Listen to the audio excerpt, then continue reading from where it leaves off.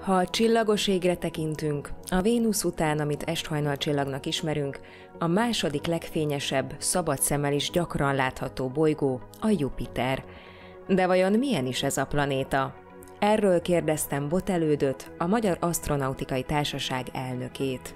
A Jupiter óriási, ez nem csak, hogy a naprendszer legnagyobb bolygója, hanem valahogy nagyobb, mint az összes többi együttvéve. Tehát, hogyha a többit összegyúrnánk, akkor az nem tenne ki annyit, mint a Jupiter. A Jupiter a, a gázóriások közé tartozik, tehát ez azt jelenti, hogy főleg gázból van, a Galileo szonda mérései óta tudjuk, hogy ez a gáz ez 90%-ban hidrogén.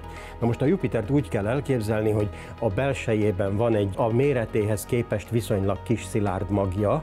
Ez körülbelül olyasmi lehet, mint a Föld, de aztán a belsejében ott olyan óriási a nyomás, hogy ott van egy réteg, ahol a hidrogén is fémes állapotba alakul át, ez egy egész különlegeség, itt a Földön ilyet nem tudunk előállítani, hiszen hát ugye 70 ezer kilométer vastag gázréteg nehezedik rá, és az préseli össze ennyire.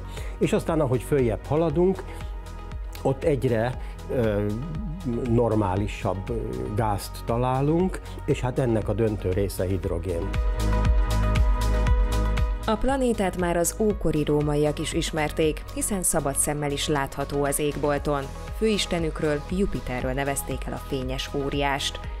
1609-ben Galilei távcsővel is megfigyelte, és felfedezte négy legnagyobb holdját, amiket azóta is Galilei holdaknak nevezünk.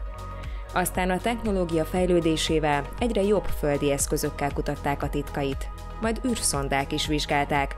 A legismertebbek ezek közül a Pioneer és a Voyager közelrepülések, majd a 90-es években a Galileo űrszonda. Ez a Galileo szonda volt az első, amelyik már pályára állt a Jupiter körül, tehát ez már keringett körülötte, és 8 éven keresztül vizsgálta, közben egy légköri szondát beküldött a, a Jupiter légkörébe, ami ott úgy leereszkedett, és hát egy pár száz kilométer mélységig megmérte a szélsebességet, meg a gázok összetételét, meg ilyesmit, és aztán 2003-ban maga a Galileo szonda is a Jupiter légkörébe végezte, azt már szándékosan oda bele irányították.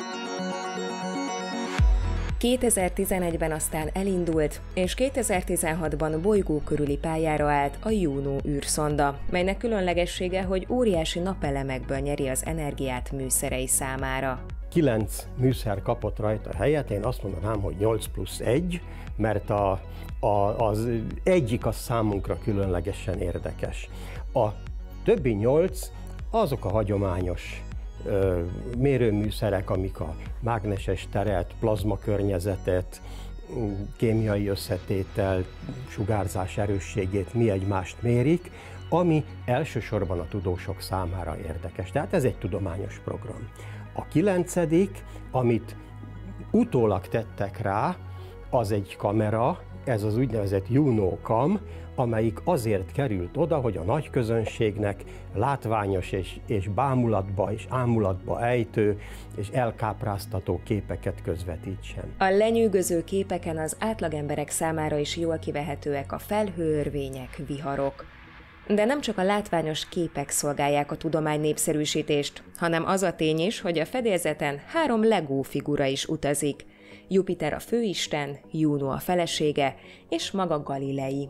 Eredetileg úgy tervezték, hogy ugye amikor Jupiter körüli pályára áll, akkor két vagy három keringést végez azon a pályán, amin azóta is kering, és akkor átállították volna egy rövidebb keringési idejű pályára.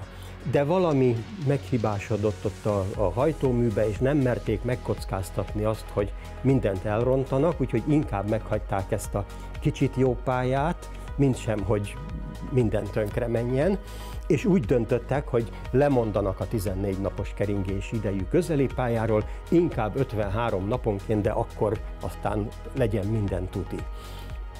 És azt tervezték, hogy 2017 végéig vagy 18 elejéig működik a szonda, de utána aztán eldöntötték, hogy ezt 2021 nyaráig meghosszabbítják. Így összességében a szonda ugyanannyi időt tölt a Jupiter közelében, mint azt tervezték, csak éppen többet kell rá várni. Majd pedig 2021-ben ezt is beirányítják a Jupiter légkörébe, ahol dolga végeztével a Galileo űrszondához hasonlóan végleg megsemmisül.